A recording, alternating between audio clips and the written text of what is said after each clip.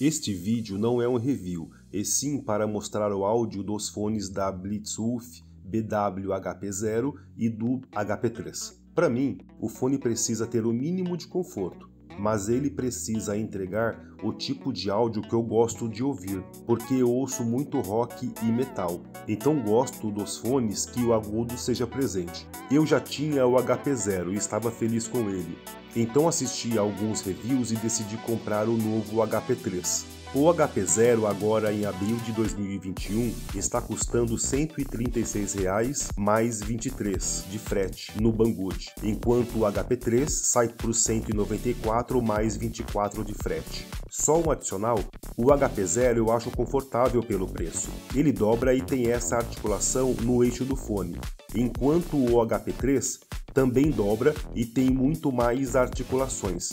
Eu acho o custo-benefício destes fones muito bom. Dando foco ao áudio, fiz um teste caseiro com o medidor de decibéis, com o mesmo pedaço de uma música. O HP0 deu pico de 91 decibéis.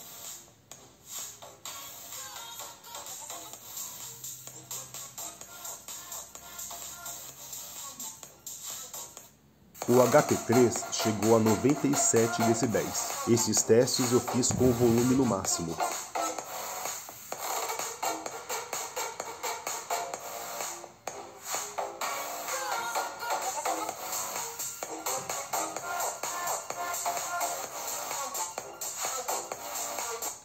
Agora vem para mim a parte mais importante. Eu gravei o som dos dois fones com o microfone externo. Eu posso afirmar que o áudio captado foi condizente com o áudio que eu ouço com esses fones no ouvido, quanto ao que eles entregam de grave e de agudo.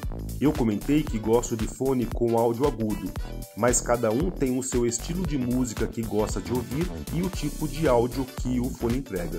Agora vamos ouvir uma música e eu vou variando entre o HP0 e o HP3. Espero que vocês curtam a comparação do áudio.